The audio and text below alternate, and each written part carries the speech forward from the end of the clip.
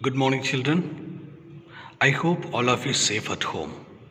Children, in the previous video, we have seen about internal hardware. In that, we have seen motherboard, PCI, sound card, and video card.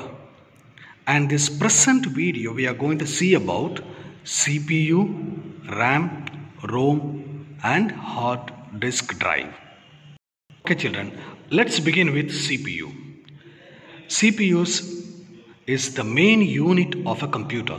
See children, this is CPU's chip. It is made up of silicon.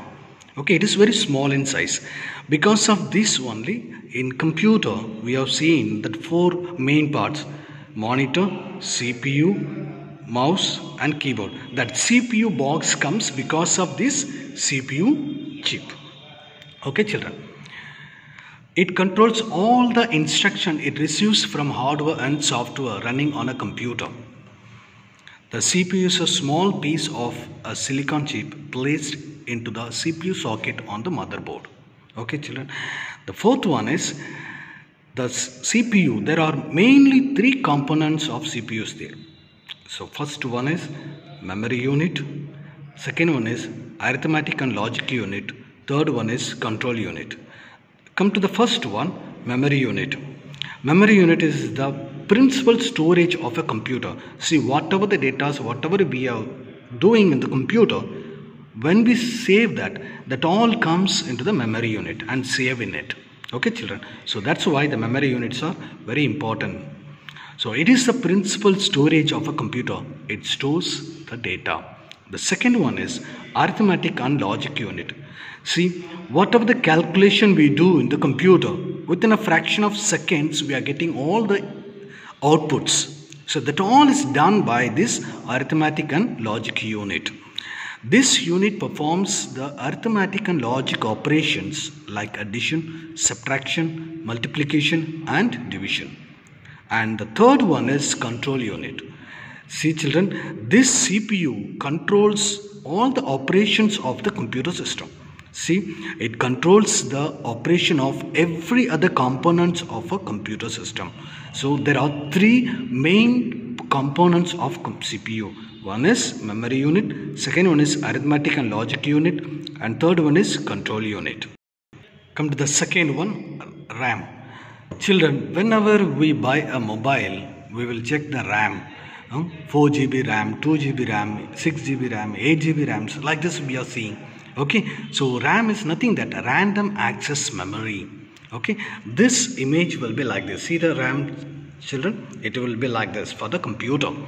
So RAM, random access memory, is a type of memory that is available for the operating system, program and process to use when computer is running.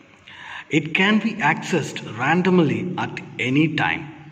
It is a volatile memory and therefore data can be stored here temporarily. See children, this is a temporary storage device. Okay, RAM. The RAM is two types of RAMs are there. One is static RAM and dynamic RAM. Come to the next one is ROM. ROM, see the image children? The computer ROM will be like this. Okay. ROM stands for read-only memory. It is a type of memory from which we can only read information but cannot write on it. It is a non-volatile memory, therefore the information is stored permanently. Children, see whatever we save in that, it will be permanently saved. And there are three types of ROMs are there. One is PROM, EPROM and EEPROM. Come to the next one, disk drive. A disk drive is a hardware component in a computer that enables user to read, write, delete and modify data on a storage disk. See children, this is a disk drive. Children, you might be knowing in a computer, okay, to inserting a CD, DVD to play the music or a movie or a game, anything. Okay, this drives are called a disk drive. Okay, it is either a built-in or external component of a disk drive. Disk drive are of several types such as hard disk drive, CD drive, DVD drive and many more. See, the most commonly used disk drive is the hard disk drive because this disk drive can be used for both CD as well as DVD. Okay, children, that's why we are using hard disk drive commonly for all the systems. Okay, children, whatever I taught you today, please write it in your copy and learn all. Thank you. That's all for today. Have a nice day.